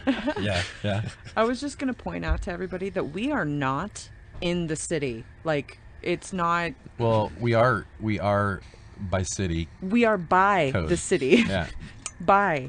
So technically, we are right on the outskirts. But of what, Medford. What you're saying though is it's really rural. Yes, it's very yeah. rural. There are uh, there's neighbors. I don't think you could spit on your neighbor's house from here, and it's it's sad to say that you are getting this chastised over or, 10 plants or this much attention or even. this much attention i mean if i over had this whole many field plants full of plants exactly i still think i should be allowed to do this let's be i agree let's be clear. i agree in yeah. my opinion right. yeah absolutely I mean, freedom isn't free come on man tell me what we fought for well, yeah. look at how many trees are out there why can't i just add some more well and, and what, what, are we looking at? We're looking at beautiful green plants, and they all look a little different. It's not like you know they look ugly. What would people rather see, fences or plants? Right. We've got the gorilla glue. We've got, you know, that gorilla glue looks good too. oh yeah, they're, they're, we call those bush pretty. babies. And yeah. then you got the what's the biggest? The Northern Lights. Northern Lights number three. Number three. And then we got the uh, purple Urkel over here across with. Now that tree. that really looked gorgeous. Oh, we got some oh, pictures that of that we're gonna share. That one is your wife's favorite, correct? Yes, because okay. the purple medicines work best for her pain. Okay. Yeah. Because yes, beautiful her pain plant. comes in on her at night because she's a maid. Uh, she actually has started her own canna business uh, called Sativa Diva She's actually go figure. I'm Lady Sativa. Why don't you go ahead since you're talking about that? Plug her real quick. Let the oh, I'm sorry, I wasn't know. trying to go no. for a plug. okay, well, I appreciate it. Want. Yeah, no, she's Do she's it. the Sativa Diva. Okay, she's on Facebook. Okay, uh, she specializes in cleaning homes that have cannabis present because if if you realize like a major cleaning companies, it's written in their contracts that if they come to your home and there's paraphernalia or there's drugs present, of course, under federal rules, there's a drug. They're supposed to report it. They will know they will just not clean your home. Oh, oh they okay. avoids the contract. They yeah. won't do the job. Oh, or so they could steal your stuff. Right. well, there's that too. But uh, no, she also cleans canna businesses yeah. Uh, things like that. Nice. Uh, yeah, she offers the full range of services, window cleanings. We have pet sitting available, the whole nine. I mean, you know, and it's all specifically based to people that you can trust to be around your cannabis. Right. Uh, right. She's worked for uh, Jollibee, uh, the people that oh, own nice. Jollibee. Nice. Uh, Rosinate uh-huh. is one of her clients as well. I mean, not to name drop, but you know we're proud no, of it, no, and they're proud good. to have her too. They love her. She's honestly, great... come on, we're Oregon Rooted. This is yeah, we drop a lot of names. Let's drop a lot good. of names. Well, I didn't ask them for permission. I don't like to drop a lot of names without permission. Well, seeing as I'm that's true. Yeah. That's true. Have you been introduced to, to my Jollibee. actual? Jollibee's delicious. Yeah. Yeah. My actual stage name is Lady Sativa, so of course Sativa Diva. I thought that was creative. Yeah, it was. Yeah. Mm-hmm. so you can reach her through Facebook. On Facebook, yes. Okay, She's the Sativa Diva on Facebook. Excellent. And Excellent. then, okay. of course, if people want to see pictures of the house when we found it, which, uh, you know, it was an abandoned house. Okay. Mm-hmm. Um, sorry. No, let's go ahead. You got cotton mouth. Yeah, it's. I, I wonder. I wonder why. Did you need to medicate? Oh, sure. Why not? Got that? Okay. So, Sativa Diva on Facebook. But she's yeah she's so anyways for me for the uh, the house when we moved into it it's the abandoned house project on Facebook. Okay. And they'll see pictures of the house when we found it. It had seven broken windows. It had MS13 gang signs in it. Uh, you know, it had blackberry growing from the fence over there all the way up to it's about what 20 30 feet of blackberry that I cut out.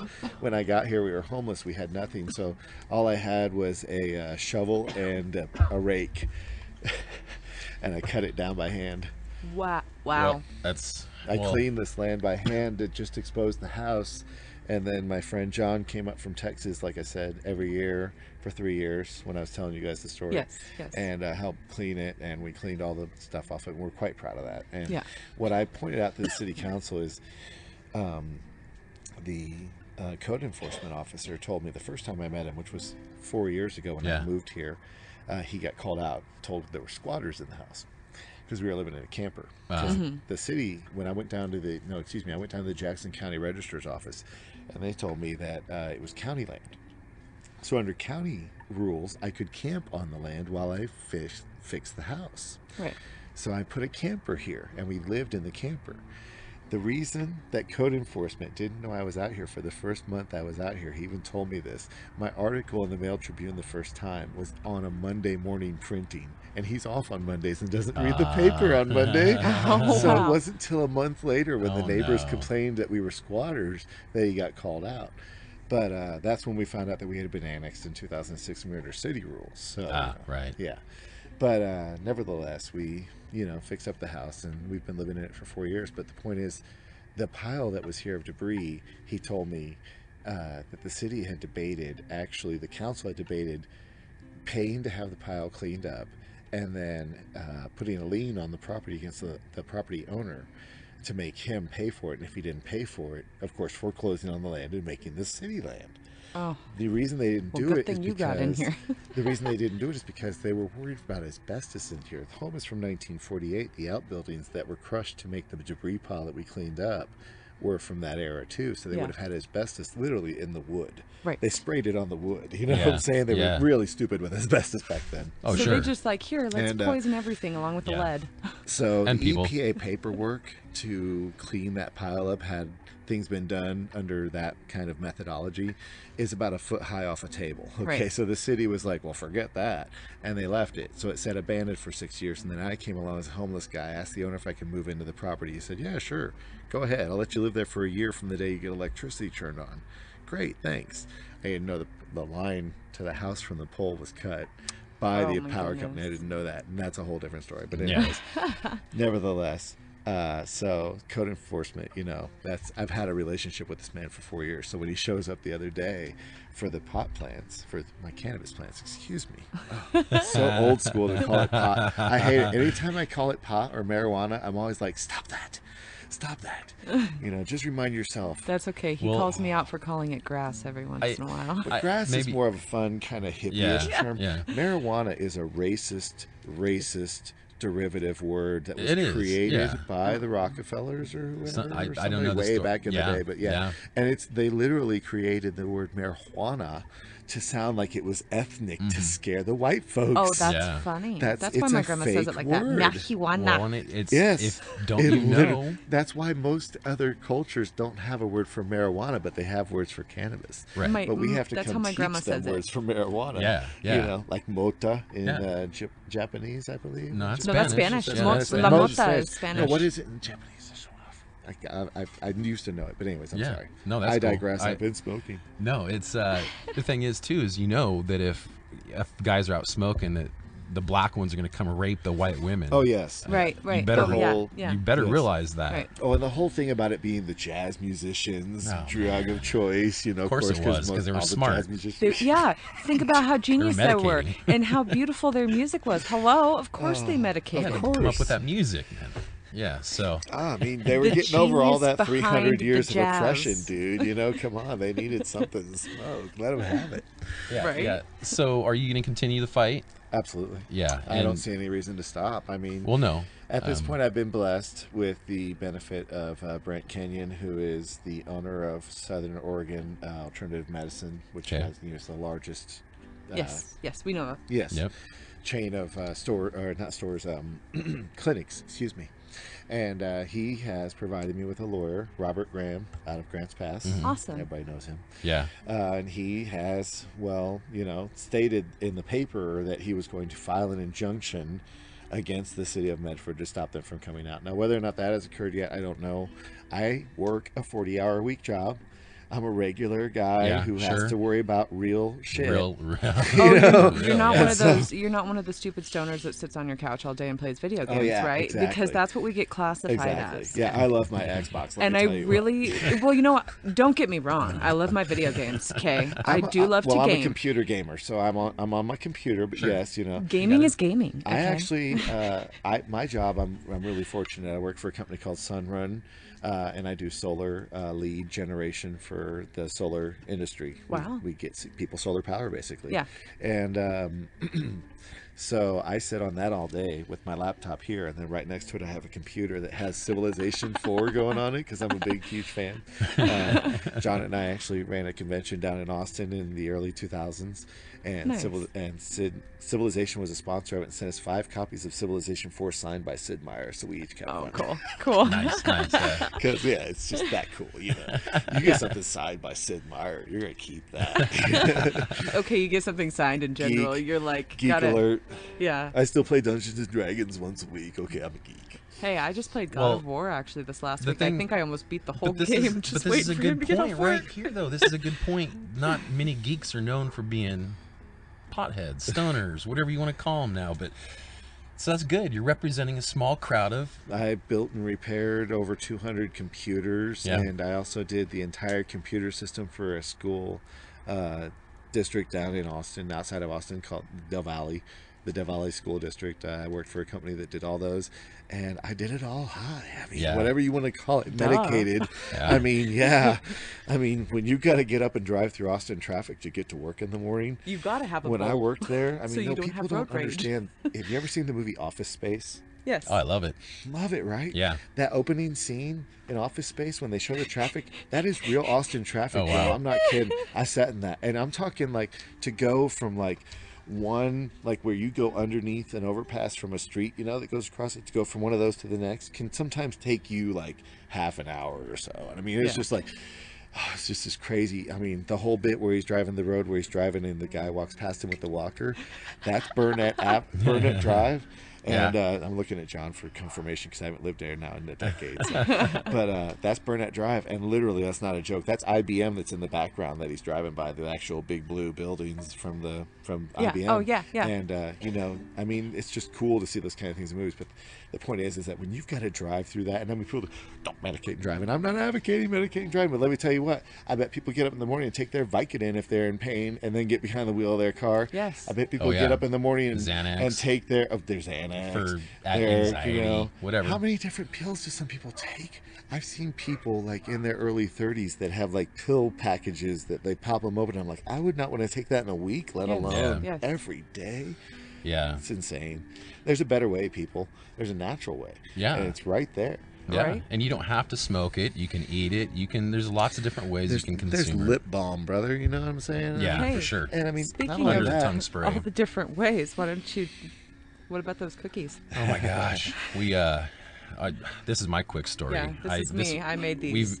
We we visited the Golden Beaver Farms, which is a farm that's it's a they're located over uh, in Cloverdale, Oregon, which is four or five hours away, and uh, they gave us a couple sticks of butter, and uh, Matt, the guy that makes their edibles uh, or the products for them, is pretty proud of his stuff, and so I was like, okay, well, it usually takes me 600 to maybe a thousand milligrams to really get pumped up, and I don't know, I don't have an explanation for that at all, but I know some people don't need that much at all. Yeah, I mean yeah, that's why so, it's not quantifiable. Well, see, that's the thing. So uh, we brought the butter home. I didn't think much about it because I've never been impressed with edibles for myself, and uh, she made up a batch of cookies with both the sticks of butter. and this is definitely a shout out to Golden Beaver. Mm-hmm. Uh, yeah, I ate two cookies last night, and I had a pretty much a psychedelic experience the whole night. Is that how much it called for? Is that how much butter the recipe called okay, for? Or did you just put all the butter in there because uh, you could? Okay, well, no, it was a pound. That's what I want to know. it was a pound of but it says a pound of butter. So okay, okay. and both the sticks together was a pound. Okay. And I may have added. Hold on. It, I, I, may have added a little bit of extra butter that a friend of ours had made, um, and so it may have been thrown in there too. well, check this out. No kidding. I was so high I couldn't sleep.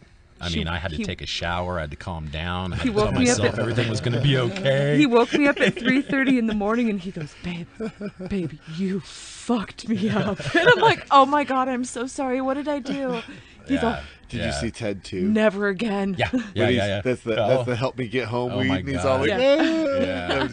do, do you, go ahead. No, I was just gonna say when Rachel Rachel uh, makes me uh, the only cookie I like to eat is oatmeal raisins. So sometimes Rachel will make me medicated oatmeal raisin cookies. And okay. She'll take the raisins and she'll saute them in some canna butter, and nice. then she puts nice. those in the recipe. Yeah. And I mean, she puts in currant. She puts in. Uh, uh, not just the raisins, but the other ones, the um, cranberries. Uh, the, the... Cran- the cranberries, yes, thank you, yes. And it's just it's it's like a health oh bar. my god, that sounds delicious. And then we usually eat whatever the butter calls for in our recipes. Like it calls for a pound of butter, we would use half medicated and then half regular, just oh. to keep it toned yeah, down. Sure. Because I'm not gonna lie, I can't help but eat more than I should, and uh, I don't want to get ah, sick. Yeah. Because yeah. I've had I had a bad experience Did when you? I was well down in Texas. I tried to make a medicated item with the brown frown we aforementioned brown frown. um, and it was disgusting. Oh, okay. and it made four people so sick they almost went to the hospital.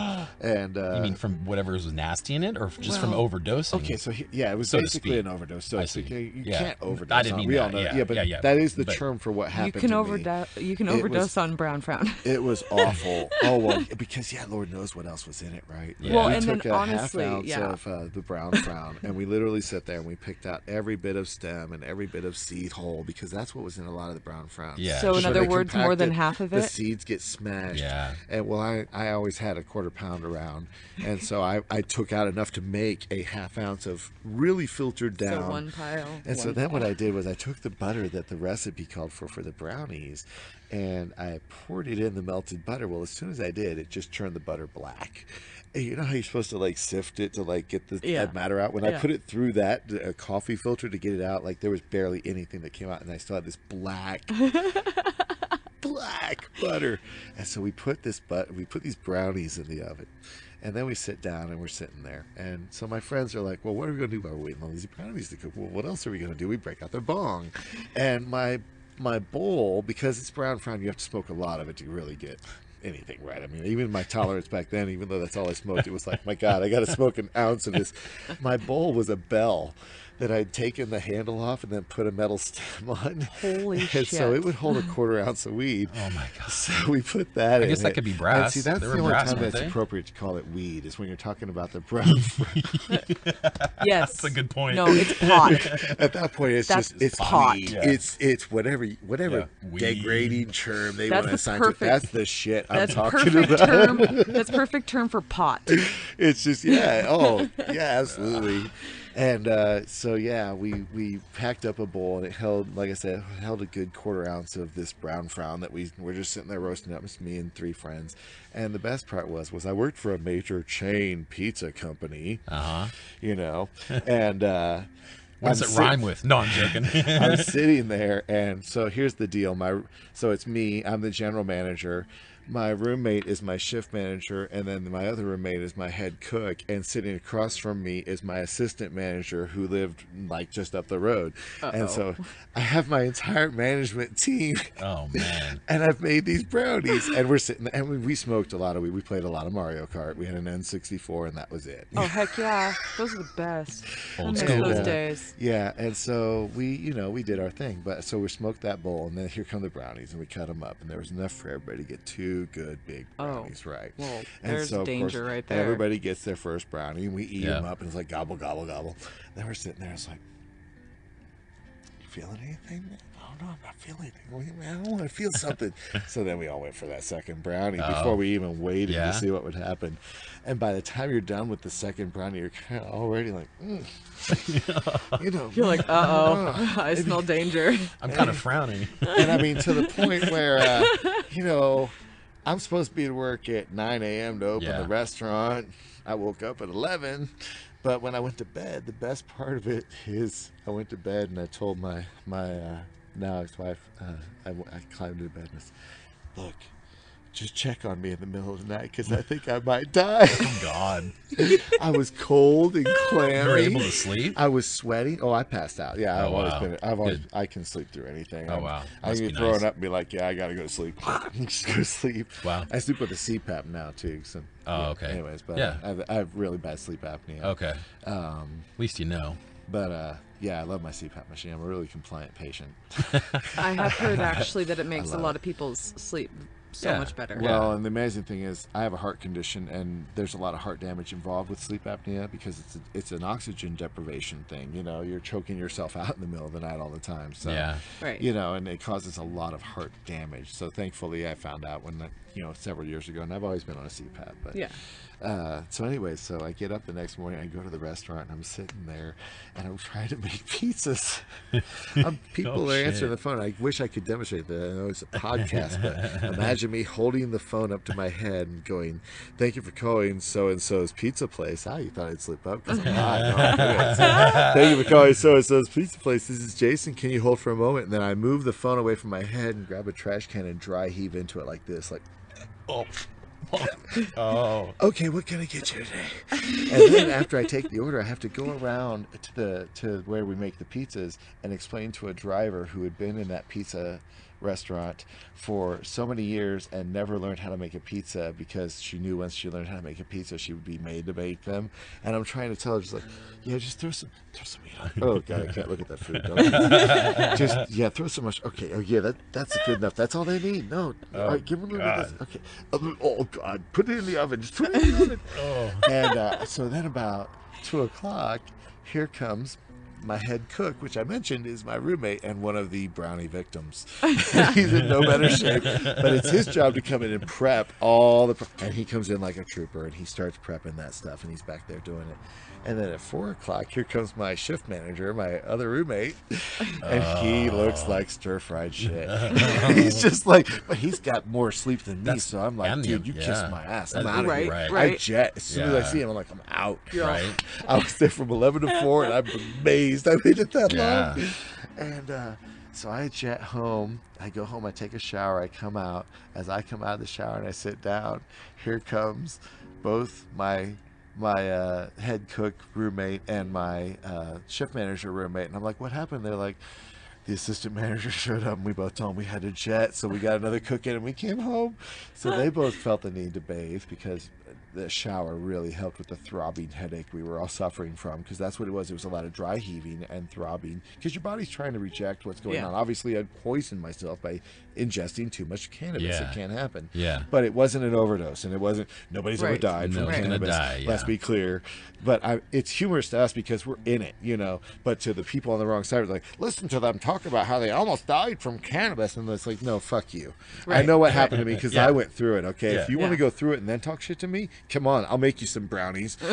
Eat this shit, you know. And we'll be nice. We'll make it with something you like, not we'll the brown frown. The exactly. Thank you. There you go, girl. That's right. But you know, literally, and so the best part is they took showers and they came out and we're sitting there and we. uh First thing we all instinctively did was sit down on the couch, put on the Super Mario, or the the the, the Mario Kart. Yeah, yeah, yeah. And uh, packed a bowl, man. You had to. And by the time our friend, the assistant manager, got off, he came over to my house with a six pack and walked in, and it was inventory night too. That was the best part. Uh, he comes in with a six pack, sits down, and I just handed him the bong, and he took a big rip. And it was like, because as much pain as we were in from it the night before, it's even better at hair of the dog than, than any right, alcohol. Right. Yes, it absolutely. heals you no matter if it's what hurt you. yeah. Exactly. You know? Because yeah. you're not ingesting it the same way also.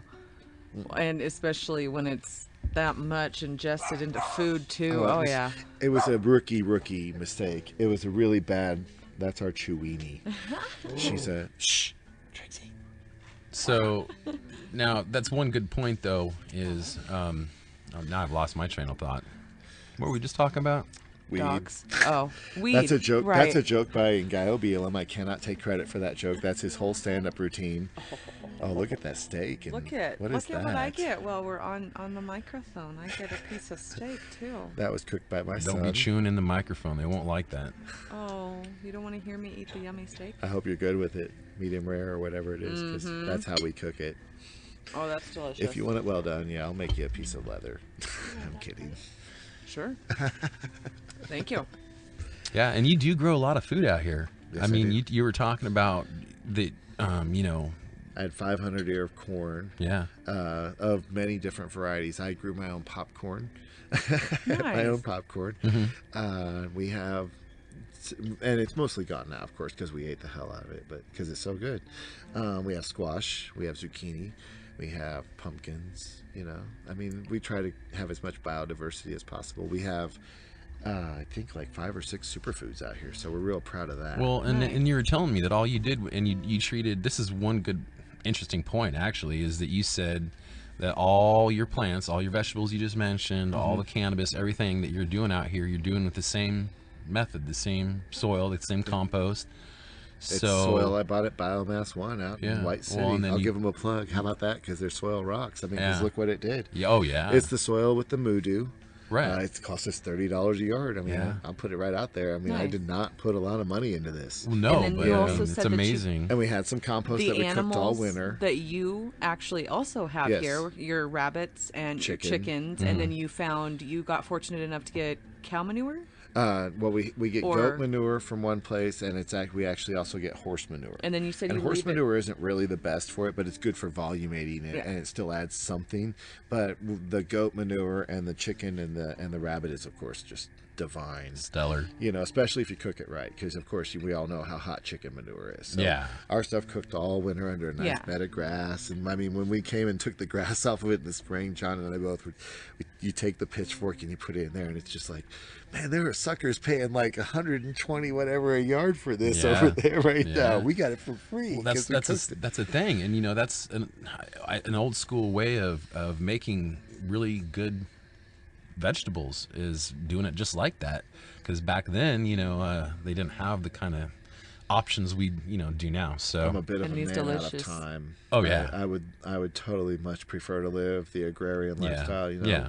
the growing of my own food. Yeah. Uh, being able to go out and find a piece of land and just uh-huh. support my family. Right. I would homestead in a heartbeat. Yeah. I've had the opportunity a couple of times to go to other pieces of land, but mm-hmm. I'm really happy here. Yeah. And to nice that piece. point, you know, they the people who own the land actually, even though I was homeless when I moved in here and they know that, because they're so proud, the, the old man that owns the house is so proud of what I've done here. He actually has stated that he believes I am the one who should own this land, mm-hmm. that he would like it to be sold to me, and he's offered to sell it to me.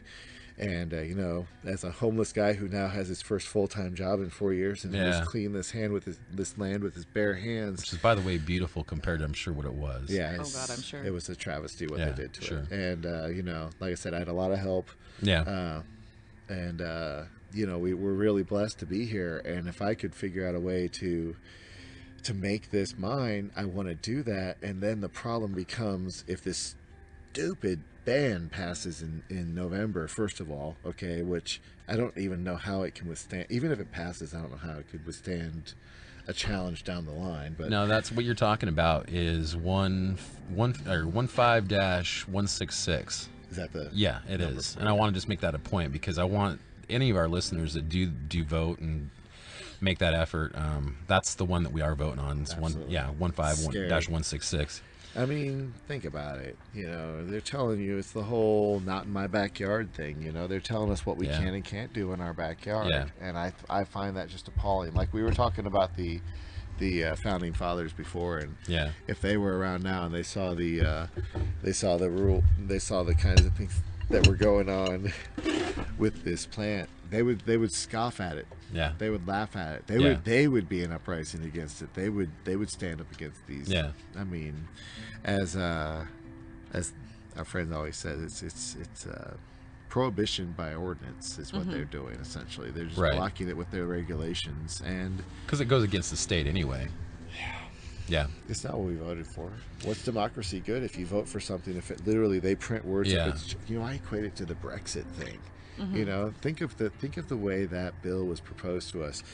Uh, OMMP will will be left alone. It will remain intact. It will not be changed. Right. Except, I mean, it was right there. It was printed. It was, yeah. And how is that any different than what they told the people in the Brexit vote over in England when they had the bus driving around with the absolute lie on the side of it, and then those people voted to leave the European Union based on a lie, and then yeah. literally the day after they're like, "Oh, by the way, you know that thing we told you? Yeah, that's not going to happen." Yeah.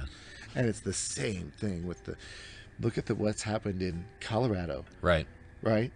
They passed recreational. Two years later, their medical program's destroyed. Mm-hmm. Washington, recreational. Two years later, medical program destroyed. Oregon, recreational. Here we are, two years later, and what am I fighting for? What mm-hmm. am I medical? For? Yeah, medical. I, mean, I am fighting for six fucking plants. Right. Yeah. Exactly.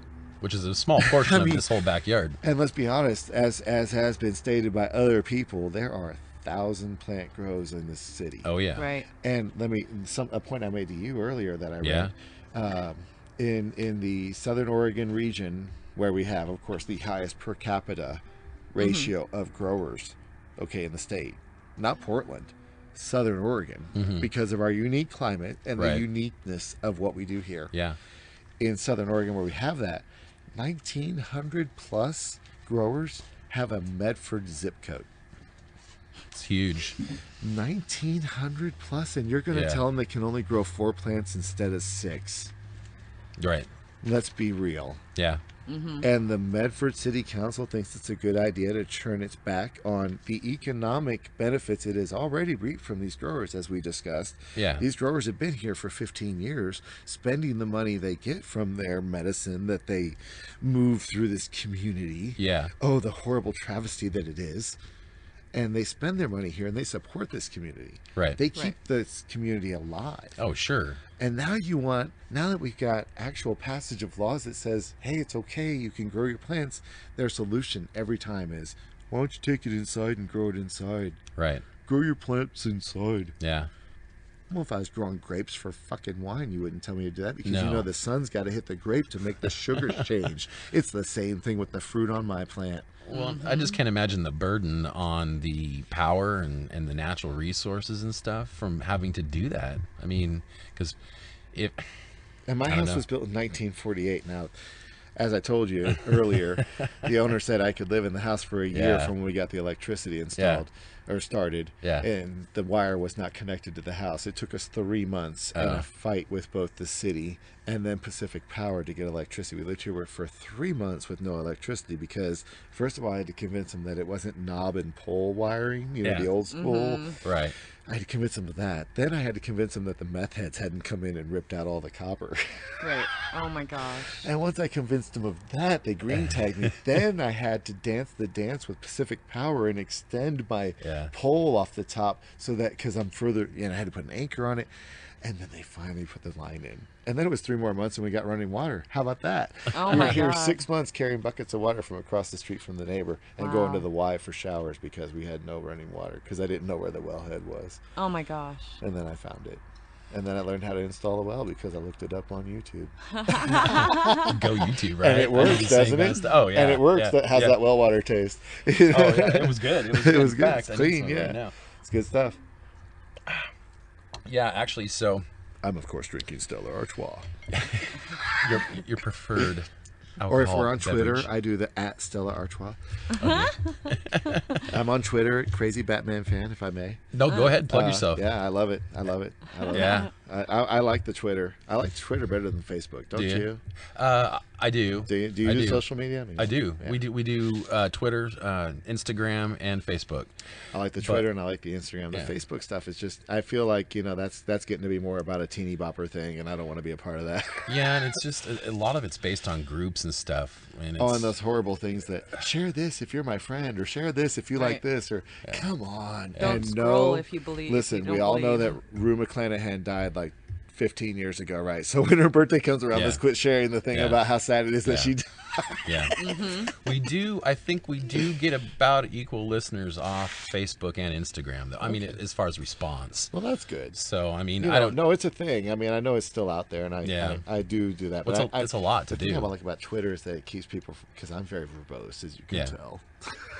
and uh, Twitter keeps me in check Oh, with I that see. 140 Yeah, it character limit. You know, it's Gotcha. like you've got this much to Yeah. say, lard Yeah. ass. Get it out of your Right. mouth. yeah, that's true too. That's true. It's Twitter's a tough one for me. That's probably the one I, I touch least. yeah. But yeah, just that whole social media takes up a lot of time just Mm-hmm. to, to get that stuff out there for people and stuff. So But you know, it's been great. I mean, you got to think about it. Some of the things that have gone down recently, some of the information that we've gotten has come from social media, from people Mm-hmm. live tweeting a, a travesty, and it's a damn shame. But that's it. Yeah. you know, you can't you can't trust the media to give you a good report anymore. Right. Every reporter that goes anywhere is biased one way or the other. And so if you really want to try to get fair and balanced, you know, Yeah. You've got to go to the man that's there standing there while they're beating that guy and you know or whatever that's going down and his Twitter feed. And, Mm-hmm. Yeah. Hey, thank God we Yeah. got it. I mean, Yeah, for sure. we're for sure. fortunate, you know, Yeah. that we have that. So that's right. where the true freedom of speech resides, man. I'm glad you're Oh, there. oh yeah, for sure, and yeah, absolutely, and we, that's why we use it. That's actually why we use the podcast. Is that you know it's not FCC regulated. We Mm-hmm. can say what we want to say. I mean, you don't want to slander anybody, but aside from slander, and there's really not. out I mean, we can cuss and talk about anything we want as long as I don't as think it's there's true. anything we said here that isn't untrue Right. or No. Right. or to be found in any adult conversation that should be taking place in this city Yeah, on a regular exactly. basis right now Yeah. because this is an important issue It is. and it's something that people need to talk about and these scaredy cat freaking I you know it's it's reefer madness it's It canna bigotry and it's Yes, reefer madness exactly. and unfortunately we live in a in a in a part of Oregon that for as unique as it is for this plant to grow here and be as happy as it is here Yeah. it's been gentrified a certain way that Uh, mm-hmm. I mean, it explains a 25 mile per hour speed limit on some roads that shouldn't be 25 yeah. miles per hour. If I sure. may be so direct as oh, that, yeah, you know? Right, exactly. I mean, and I'm, I'm not at all ageist. I mean, I'm 46 and I'm getting there. You know, yeah. I mean, I'm yeah. going to be there soon, but I'll be damned if I'm going to get there and then turn around and waggle my finger at the hippies or the kids and be like, "Don't you smoke that dangerous nigger weed?" You know, no. I mean, seriously, that's how they still think. Yeah. They're how still stuck in that thought. They right. still see that god awful Reefer Madness movie that they parodied on that 70s show with the kids sweating and getting all sick and all. Yeah. yeah. Oh, yeah, absolutely. They're going to jump off buildings because they think they can fly because they're on pot. No, the only time I thought I could fly was the time I took some mushrooms down in Austin, Texas. Yeah. And yes, I admit I laid down yeah. in my backyard and I held onto the grass in my backyard because I was afraid I was going to float off the planet. Sure, sure. But you know what? Yeah. I never climbed up on a building and jumped off. no, I was no. in control of my shit. We actually had a friend there. We, you know, I, I, always trip safe. You always have the straight person there who knows you're doing it and they're like there in case things get out of hand and, you know. Well, and, and the, the sad part is that a lot of these people that and cannabis didn't push me there, if I may. I'm right. sorry. Because oh, oh, heaven no, no gateway. Listen no to him talking about that gateway drug, cannabis, and now no. he's talking about how he did shrooms. Oh, he's just one of those crazy fuckers. Yeah, no, actually, cannabis keeps yeah, cannabis keeps me from doing things I shouldn't do. you know, but uh, yeah, you know, it's it saved me from a lot of bad decisions. Well, well, yeah, yeah, and it's uh, it's one of those things that people I, I always reiterate I, am sure all the listeners are going to be like, uh, but the same people will be either taking pills, smoking a cigarette, mm-hmm. uh, they will um, be drinking a beer. Mm-hmm. And uh, you know, a lot of those things are not safe to even be around kids because they mm-hmm. all of them will kill them. Uh, so people will have a beer or five out, and there'll be kids running around everywhere. They'll even have hard alcohol, and that's okay while the kids are running around. But you bring out a bowl or you smoke cannabis or whatever, and then there you go. It's, right. The, and, uh, and, and, the hatred that comes from if you if you take it to the next step. It's one thing when you smoke a flower bowl sometimes, but sometimes when people see you eat a brownie, it's like the whole thing about uh, uh, we mentioned Jollibee earlier, but you know they had to change their thing because right. it looked like a bee yeah. because the state said, "Oh yeah. my god, that looks like a candy. Kids yeah. are going to eat that." No, because you don't leave your shit laying around in front of your kids. Right. Yeah. Because if you're responsible with your medicine, it's not where your kids can get to it. Yeah, exactly. You know, and that's what needs to be happening. It's about responsibility. Anytime you try to legislate personal responsibility, I have a problem with well, it. Yeah. And right. that's my that's like my main political stance. Call me a liberal, call me a, whatever you want to call me along the lines of whatever I believe sure. who I vote for. One thing I hate more than anything else in politics is the legislation of personal responsibility. And if you make a choice to do something, it's your choice, especially where it comes to bodies. Your body is the only damn thing you come into this world with. And, and, and for them yeah. to ever try to pass a law that says that you can't do this, yeah. that, or the other, yeah. you know, with your body, oh, I get infuriated at that because it's just like it's the one thing I came into this world with, and you're going to tell me I can't do something right. with it. Yeah, you're going to tell me I it can't ingest something into. Yes, exactly. It should be a crime. You're going to tell me I can't take a plant that's been on this planet for thousands of years being used in a known medicinal way yep. Yep. by many different cultures and right. I can't ingest that because well, we know that hurt certain parts of the plant are really good for paper and really good for fuel, and we like to get those things from other sources. Yeah, yeah, so we're going to yeah, make sure that, that that that marijuana, yeah, the marijuana, is not available Oh. Right. it all comes back again, doesn't it? Yeah, it sure circle, does. Man. It sure does. So uh, anyway, Jason, you know we're at we're at that time, buddy, and you yeah. know what? I'm staring at a fat, juicy steak that yeah. this made up. Steak with some it's squash. really hard. And I, it's really not hard to eat right By now. By the way, and I have so, had a couple I hope bites. too cold because yeah. it is a little chilly no, out here, no, which I don't good. mind. We're good. I have had a couple bites, and your vegetables on here are delicious. And yes, they are out of the garden and very well seasoned. Yes. By the way, I like some seasoned stuff. Yeah, and so we we do appreciate Oregon Rooted appreciates the hospitality that we had tonight, and we want to get to eating this dinner because it yeah. does look good. Yes. And so, uh, Jason, Jason Osborne, thank you for being on the show. Thank you for being an activist. Thank you for keeping up the fight and dealing with all this bullshit. To be honest. Yeah. yeah. Thanks for the so, invite. And, I thanks yep. for having me. Really and you know, it's. I didn't ask for it, and I just kind of consider it my honor to be the one yeah. that's got to stand up hey, and right. And we're right behind Absolutely. you, and we're gonna check I'll in. I'll Colin on... Kaepernick that shit and take a knee. Yeah, well, and, and we're gonna keep everybody updated on what happens with this stupid mess. Uh, but I'll tell you, I, I have nothing but peaceful feelings back here. So you know, oh, I'm oh. not sure. And by the way, like the vibe. we will be back for some pig during. Uh, yeah, and, during and like Halloween. I said, we are checking in with you again. so we're, we're going to be checking in, going to keep those uh, listeners updated because they do want to. You always want to hear the follow up. So we appreciate it. Jason, thank you for being on the show, buddy. Mm-hmm. Okay, so yes, that was a uh, definitely a long interview. Mm-hmm. I hope y'all stuck in there for it.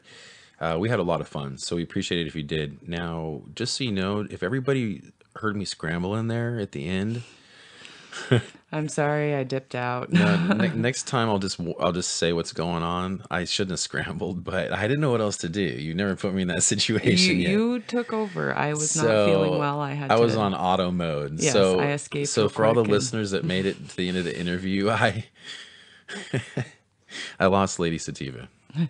Where'd she go? Yeah, I, I wasn't feeling the best. I had to have a moment, and holy moly, you can't really stop recording in certain situations. So no, you I, you handled it on your own. Good job. I actually probably could have paused. I yeah. I I didn't even think about that. See, I scrambled. I scrambled. You were right in the middle of what you were doing. So you know what? I'm glad you did because I don't know if I would have had too much input feeling the way for a I while. Was. yeah. Well, pause. Pause. Just so you know, lasts indefinitely.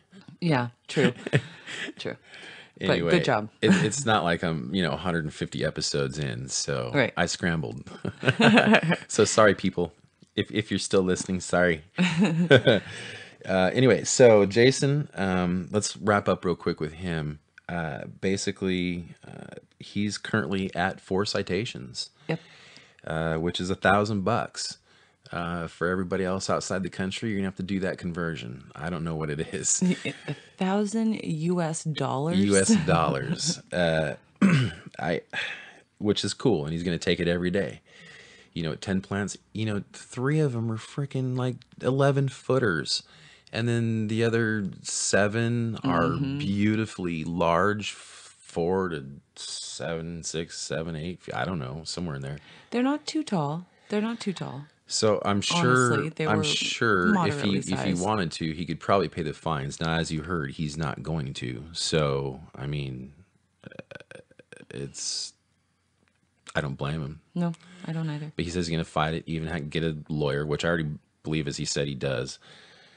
So, um, on the positive side, though, and keep up the fight, Jason. Thank you. We support you, and we also support the people that are fighting on all sides. Yes, I've, um, heard of a couple different people that are getting citation too for their plants and yeah, and this like is twenty two fifty for somebody, and yeah, and this is a good story for for the world to look at and say, hey, geez, you know, look at that.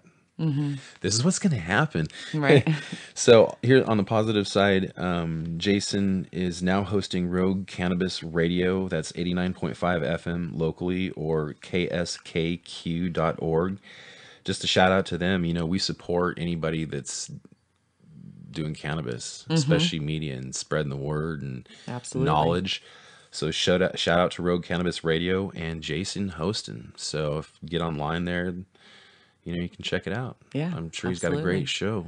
I'm sure he's providing some great stuff. He's a hilarious guy. So Yes, he is. And I'm sorry we didn't get this episode out sooner. Yeah.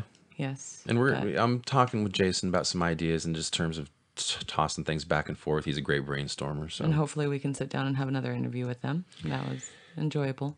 Um, yeah, I mean, we're going to follow up and do all that stuff with him. Um, and, you know, uh, find out what happened. I, he's not going to stop, so I don't. Nope. He should be harvesting. It's so cold and rainy out, and he doesn't have his stuff covered either. No.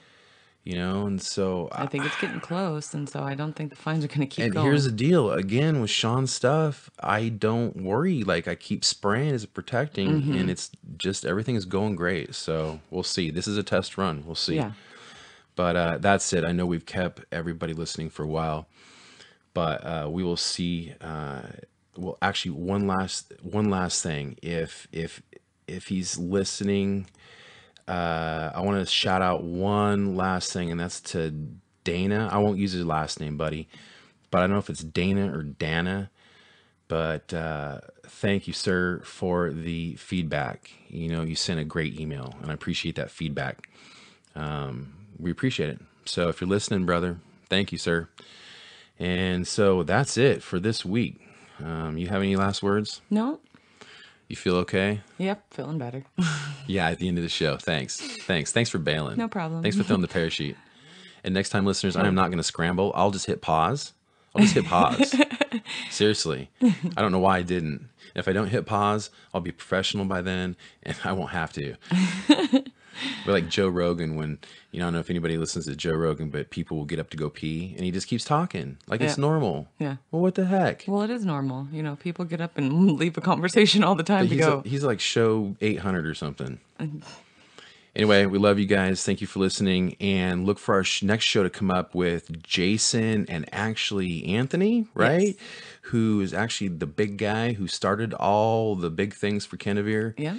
Uh, we got him to sit down with us. Yeah. Had a great show. Yes. So look for that coming up. i w- I'm hoping for tomorrow.